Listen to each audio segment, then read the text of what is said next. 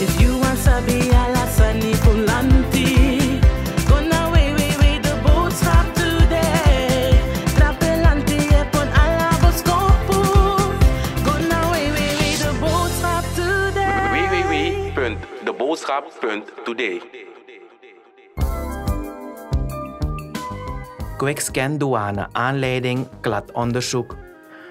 Op basis van recente ontwikkelingen bij de douanedienst heeft de minister van Financiën, Gilmore Hoefdraad, in december 2018 een quickscan laten uitvoeren door een speciaal onderzoeksteam bestaande uit verschillende daartoe gespecialiseerde krachten.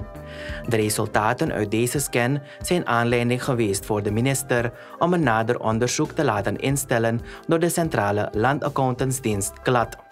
In voorbereiding op dit onderzoek heeft de klad zaken die te maken hebben met een effectieve en efficiënte uitvoering van deze opdracht in kaart gebracht. Ook de resultaten van de quickscan worden door de klad meegenomen in het onderzoek op locatie. Het vervolg van dit bericht kunt u lezen op www.deboodschap.today. Www.deboodschap.today.